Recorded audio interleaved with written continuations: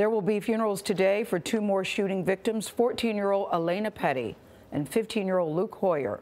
Services will be held for at least five more victims later this week. 14 students and three adults were killed in Wednesday's shooting. The community honored 14 year old Alex Schachter, 14 year old Jaime Guttenberg, and 35 year old geography teacher Scott Beigel yesterday. Beigel students say he tried to shield them from the gunman.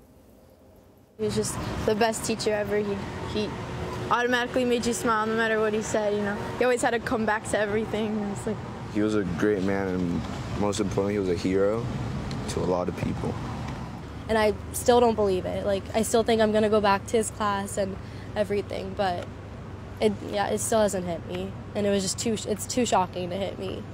He didn't nobody deserved it, especially him. He was hands down like favorite teacher ever. Mm-hmm. Yeah, I think time is what's going to heal all of us, if it even does. But just walking into that Mr. Beigel's classroom and not him, like him not being there. I'm not walking. Walking into that front door where he was, where he passed. You know, how how are we supposed to do that without you know bawling into tears? Like I don't understand. We just need time and just being with friends that were there, that survived, Yeah. and being with each other. That's helping.